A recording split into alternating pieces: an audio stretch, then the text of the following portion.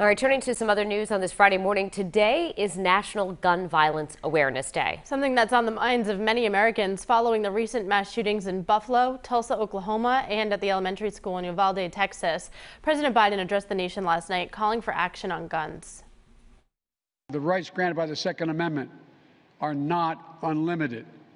Not unlimited. It never has been.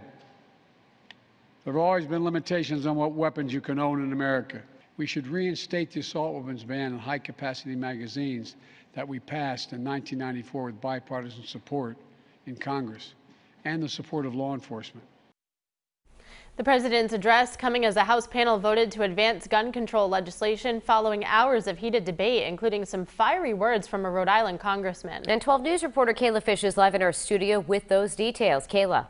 Hey, good morning, guys. Well, Congressman David Cicilline will be at the Nonviolence Institute in Providence this afternoon to mark Gun Violence Awareness Day. It comes just hours after he was part of that intense debate over gun control in D.C. last night. The House Judiciary panel ultimately voting along party lines to advance the Protecting Our Kids Act. The legislation would raise the age limit to buy a semi-automatic rifle from 18 to 21. It would make it a federal offense to import, manufacture, or possess large capacity magazines and help create a buyback program for such magazines. It also includes a bill from David Cicilline, which would crack down on untraceable firearms.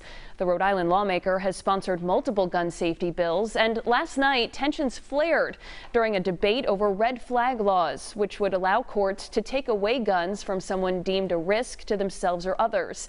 Critics have said the measures infringe on due process rights. You know who didn't have due process? You know who didn't have their constitutional right to life respected? The kids at Parkland and Sandy Hook and Uvalde and Buffalo and the list goes on and on. So spare me the bull about constitutional rights. Now, a full vote on the legislation is expected in the House next week, according to House Speaker Nancy Pelosi, though it's not expected to pass the Senate. Live in studio, I'm Kayla Fish, 12 News.